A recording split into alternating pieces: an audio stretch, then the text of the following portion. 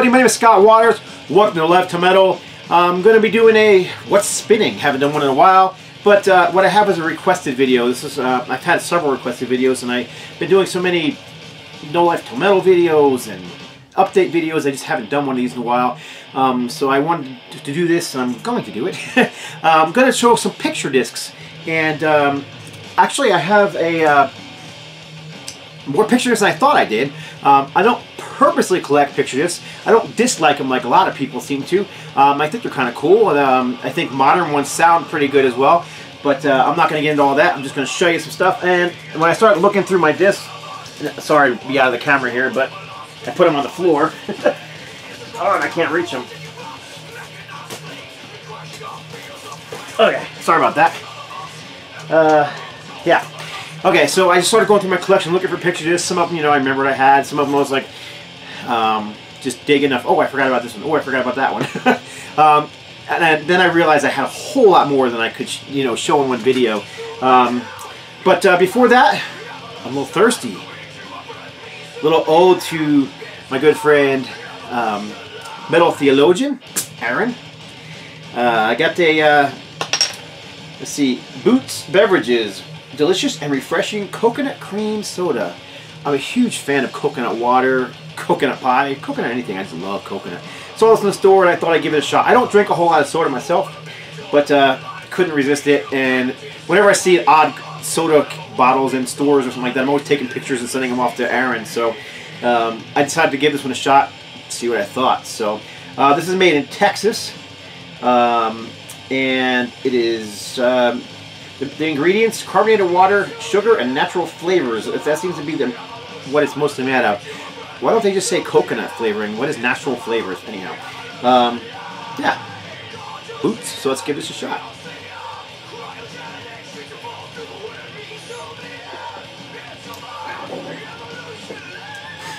It's actually pretty good. It's not overwhelming, not too strong of a taste, but it's kind of has kind of has that vanilla, coconut.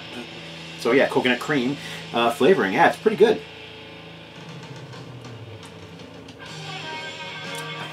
Not bad. I like it. So there you go. Boots Coconut Cream Soda from um, Ryan, Texas. Anyhow, enough of that. uh, cheers, Aaron. Let's get right into this. This is actually a new one to the collection. I just picked this one up not too long ago. It's an original pressing. Phil Lynott's first solo album. Solo in Soho. I believe it was 1979, 1980, somewhere in that area. Um, I gave this one a spin. It sounds good. It's, to be quite honest, it'll probably never get played again. It's more of a collector's item. When it comes to Thin Lizzy, Phil Lynott, it's just certain bands. I'll, I'll collect anything that I can find from them, and you know, this happens to be one of those bands. And yeah, very cool original pressing. Phil Lynott solo in Soho. This is an original pressing as well. I've had this for years. Um, this is Exodus Pleasure of the Flesh with the original Cannibal uh, cartoon cover. Not in great shape. It plays okay. It's got a lot of noise to it, but I, I have a perfectly fine black vinyl version to play. So this is more of just, a, again, a collector's thing. Original band artwork pictures, limited edition of only 10,000. Ooh, that's only 10,000? Couldn't even sell 10,000 records these days, unless a limited edition pressing. Limited edition pressings are like 500 or 1,000 these days, so... Uh, yeah, Pleasure of the Flesh, classic uh, second album from uh, Exodus. Uh, this ones are all... Oh, excuse me, soda. Uh, these are all um, Dio discs. This is a 2002 record store day pressing of Dio's uh, classic album, Killing the Dragon. I think this is a great album myself. There it is, front and back. I have something to show. I'm real. If if the back's not able to be seen, I'm not going to pull these out because this will be a hour long video. So um, this is Dio and Friends. Stand up and shout for cancer. This is a a uh, more of an EP. It's got uh, what six songs, Straight to the Heart live by Dio, Rainbow in the Dark live, uh, Neon Nights live uh, on the on the B side, and then the A side has Neon Nights by Anthrax, Rainbow in the Dark uh, by it's just a bunch of different guys, Corey Taylor and whatever, just a bunch of guys. Straight through the Heart, Halestorm.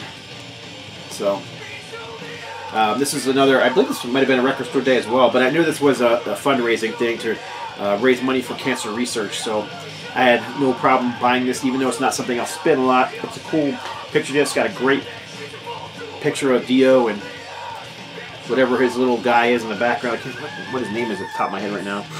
Um, this one's really cool. I love this album, and this one is still sealed, and I probably will never open it. Uh, and I'd like to get a you know just a regular vinyl version of it, but this is uh, Magica, um, Dio's first and only, I think, under the Dio name, um, story album. You know, uh, concept album. When this came out, I listened to it over and over again. Then it was announced that Dio was coming to town, uh, playing a small club, and on this tour he was going to be playing the entire Magica album. So I devoured the album. Just I wanted to know it inside and out. So I I just listened to it over and over again. And it wasn't like I was forcing myself to. I quite enjoyed it. Um, and when he played it live, it was just fantastic. absolutely loved it. Um, it's unfortunate uh, when the other band that I that I opened up for them that I absolutely do love, uh, King's X, um, had a terrible show that night, but Dio was fantastic. Uh, limited to 500 copies. Record Store Day 2000. Wait, that's not Record Store Day 2000. This album was released in 2000. I'm not sure what Record Store Day this was from, but it's one of those cool things. You know, it's uh, you know people don't like Record Store Day, but that Dio album was not available on any other format on vinyl, so it was cool to find to grab that. Uh, this band is probably is not as well known as some of the others I'm showing. This is Anger as Art. Fantastic thrash band from um, LA. Um, and it features, uh, what is his name? Let's see. It's slipping my mind at the moment. Dadgummit. I hate when I can't remember something like that. Last name is Gaines. First name. That's annoying. Um, anyhow, he played in Bloodlust and uh, I believe it was Abattoir. Let's see if I can find it on here somewhere.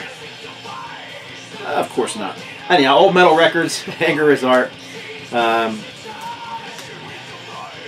I gotta find a name where it's gonna drive me insane.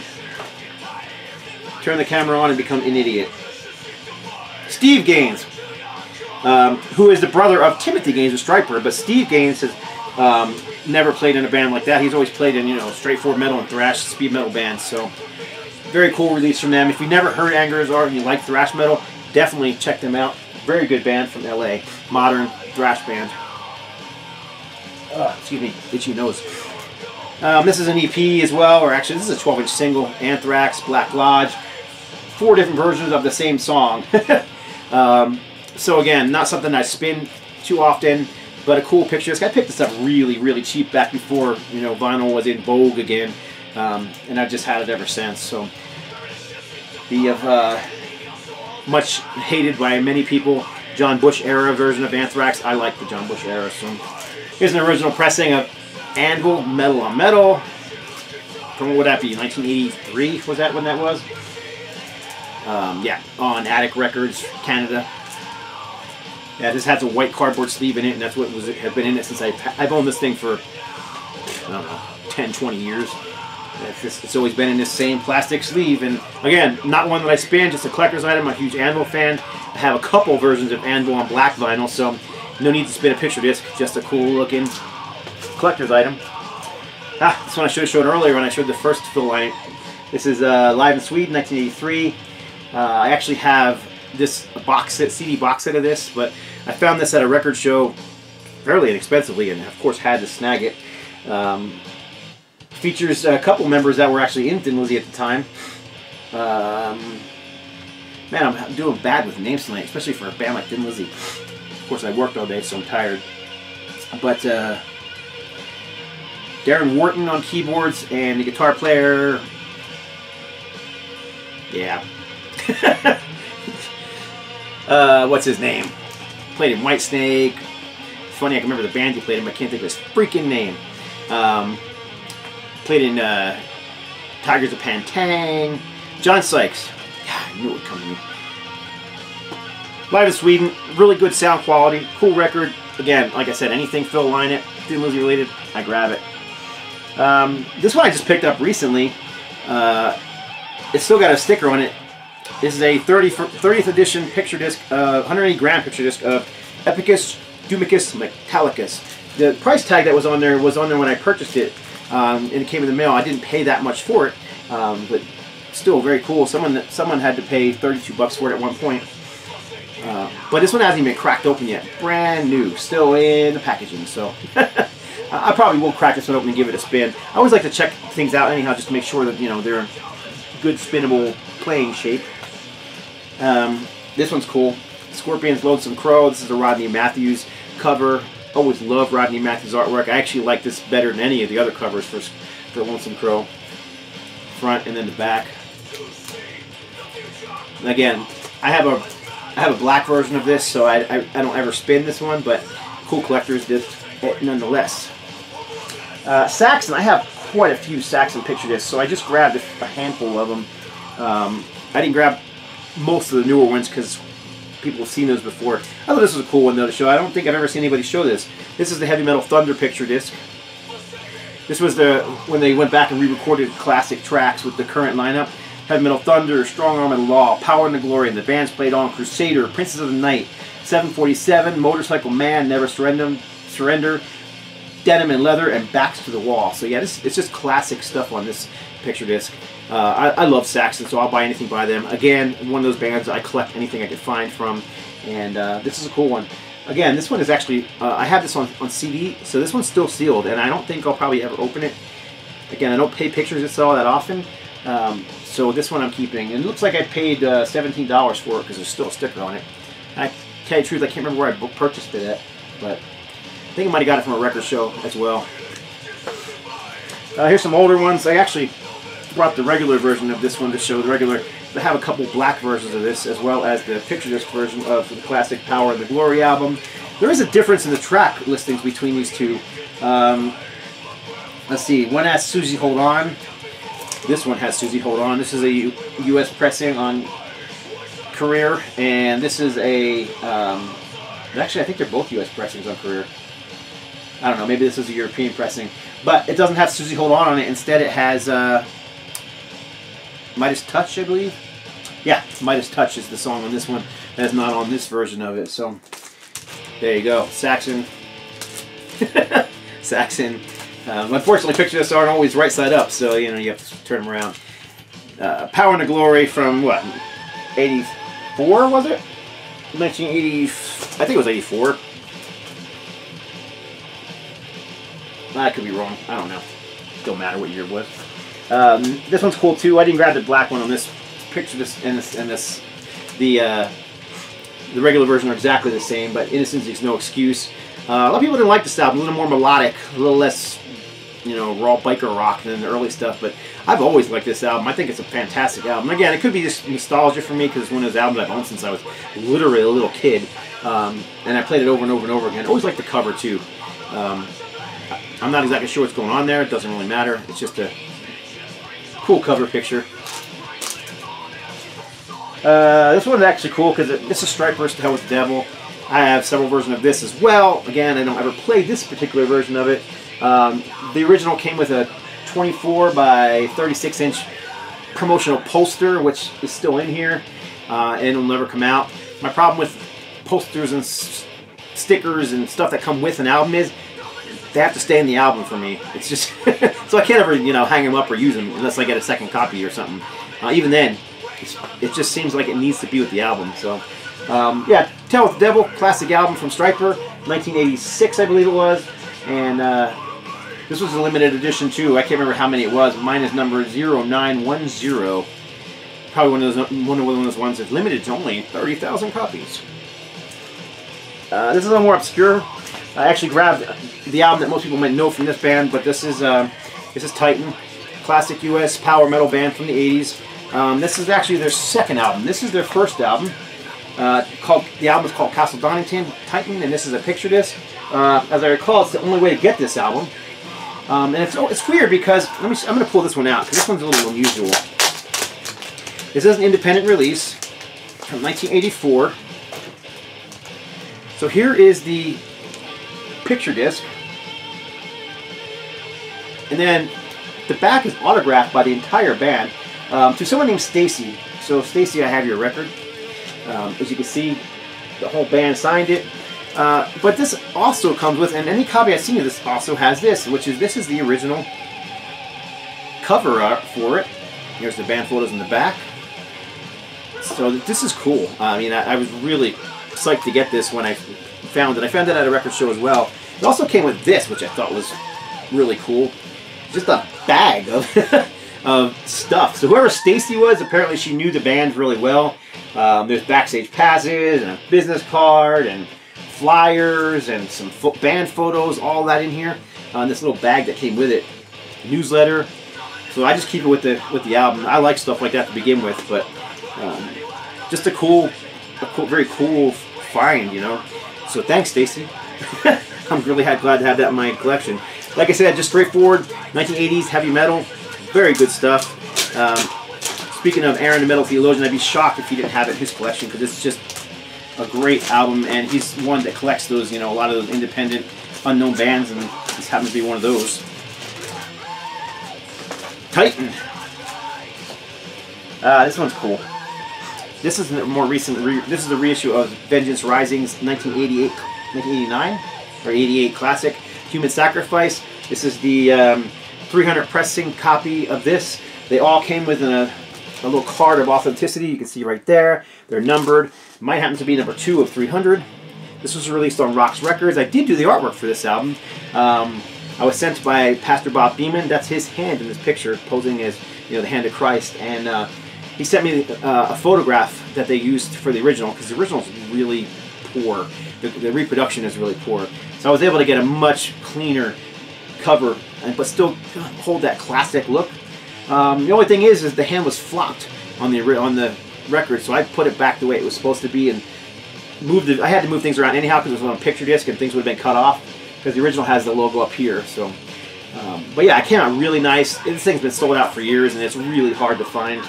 Um, very cool reproduction of the uh, first 1980, I think it's 88, Vengeance release. Uh, and that actually sounds better. I have the original black vinyl version on Intense Records, and that um, digital, that digital, that picture disc version sounds better than the original version. Um, so, and this is cool too. Goes right along with it. This is actually the test pressing for that same album. I don't know how many test pressings were made. Um, probably somewhere in the neighborhood of between four and six. Um, but you can see the test pressing came with a sticker, uh, which actually says test press on it.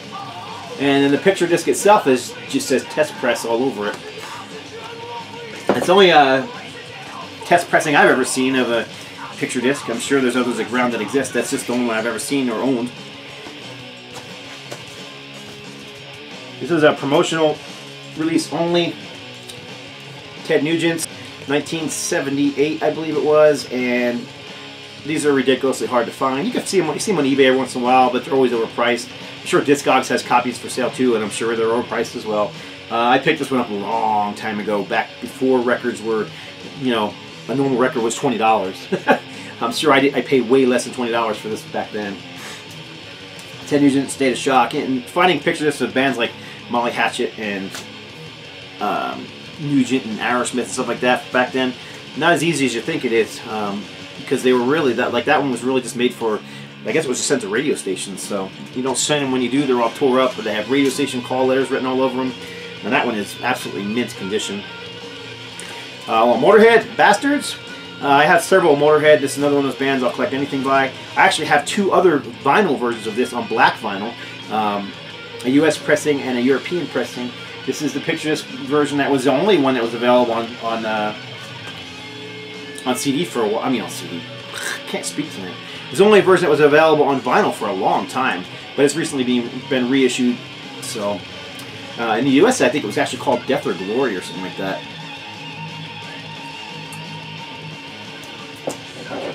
Yeah, that's good. um, yeah, so this is number um, 022 of 1,000. So as you can see, the pressings in the, in the, more recent ages have gone down. Limited edition pressing of 1,000 worldwide is, is not very many, for, especially for a band like Motorhead.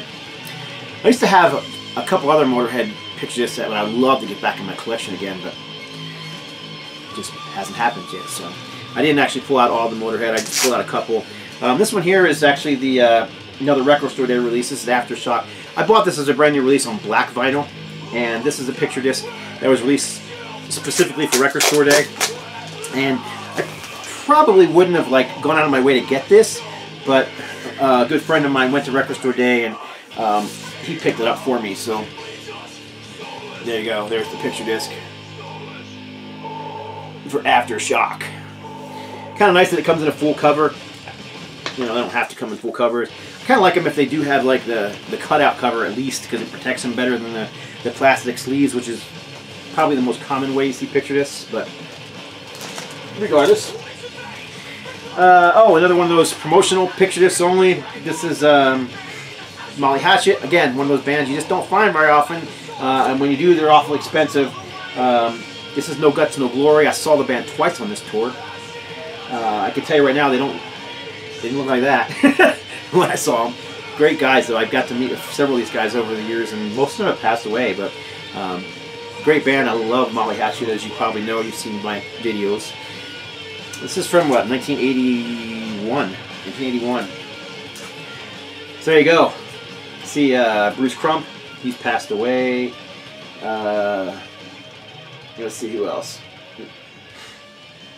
There's um, Dave Hlubek, who has passed away. There is um, who else is on here? Guitar, the other guitar player. Oh man, I'm spacing names today. It's terrible, especially names I know like inside and out. It's like forgetting who who the singer of Aerosmith is or something ridiculous. Um, anyhow, he's also passed away in recent years.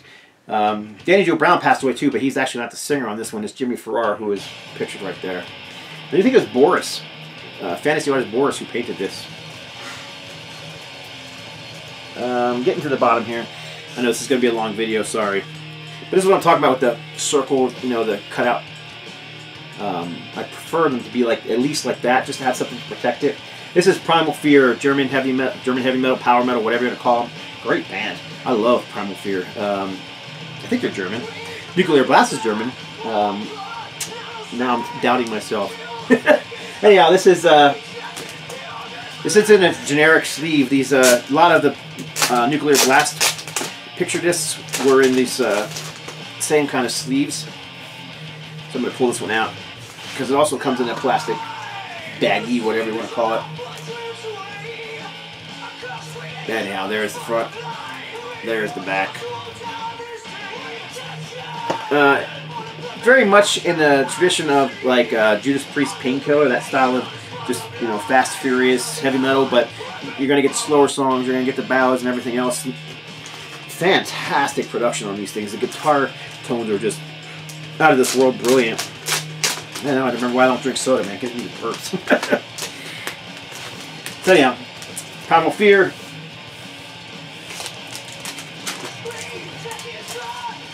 Um, see what else we got in here. Ah, Gravedigger, The Last Supper. Again, this is a full cover version. This uh, interesting album uh, by this German power metal band. Um, what makes it interesting is that um, although these guys obviously aren't you know Christian or religious or or ministry kind of band, um, what they tried to do was do a concept album based on the crucifixion and you know the whole story of Jesus Christ, but from the from the perspective of what must have been going through you know his mind as he was being beaten and tortured and all those other sort of things. Uh, very interesting um, take on it, you know, whether you agree with him or not. Uh, but the artwork on this is just fantastic, front and back. Of course, there's the grave digger uh, mascot in the background. Uh, I can't remember what year this was released. 2005. Yeah. I played this album when it first came out over and over and over again. And when I want to hear Gravedigger, this is one that I do return to quite often. So, very good album. Unfortunately, usually when I bug, usually when I um, want to hear that album, I go to the CD rather than play the picture disc. Uh, this is an old, old one I've had for a long time. On the Milan label, this is the best of Judas Priest. It's just a collection of uh, songs from the first two Judas Priest albums. Uh, if I'm not mistaken, it might be a version of uh, Diamonds and Rust on here too that was pre-Sin After Sin. It's got one of those white, I'm not sure how many of those came with those little white sleeves in the back. This one did. Uh, rock and Roller, Never Satisfied, Dying to Meet You, Diamonds and Rust. Yep, Diamonds and Rust. Victim of Changes, Island of Domination, Deceiver, and The Ripper. So there you go, picture disc, Judas Priest, the best of. Um, got one more, and if I can get to one, I'm gonna pull. One. I just thought of another one I had. this is a, a, a recent reissue, a release, not reissue, a recent release from Overkill, White Devil Armory. And um, I purchased this one not realizing it was a picture disc. It's actually a double picture disc. Um, I just actually thought it was black vinyl. And when it came in the mail and I, you know, popped out to play it, was shocked to find out. So it's got, you know, the regular picture sleeves. But yeah, it's a picture disc. And both of them are. I know Maiden has a ton of reissues on picture disc. I've heard they don't sound great. I'm not really interested in picking those up since I already have all the albums to begin with. So there's disc two, front and back. So anyhow, that was an accidental purchase, but I have played this one several times actually, since it's the only version of vinyl I have, and it sounds fine. Doesn't have any of the people say that you know they have they have noise and all that kind of stuff, and sounds pretty darn good to me. So I don't know. Uh, like I said, I think modern picture discs sound a little better than the old um, 70s and 80s picture discs. Um, yeah, that's that's pretty much all I have. If I can get to one more, I'm gonna I'm gonna grab it and take it out too. We'll see if it's, if it's easy to get to or not. So excuse me for a minute, I might cut it here. Yeah, here it is. Okay, so I found it. This is uh, just one that popped into my head I forgot all about. But this is one of my all-time favorite album covers by one of my all-time favorite metal bands, Cirith Ungol. Um, this is their first album, Frost and Fire. And I've had this one for a long time. I don't know when this. See, this uh, there's a re-release date on here. This was actually a re-release from 2005, um, just before you know vinyl started hitting that big boom, I guess. Regardless, I was really happy to find this. Uh, again, one of those albums that I have on black vinyl too, so it's not one that I I play this anything, but I just it's just been always one of my favorite album covers. Um, and you're not really getting the full thing here. I'll pull this one out just because it's the last one. Oh no, I won't.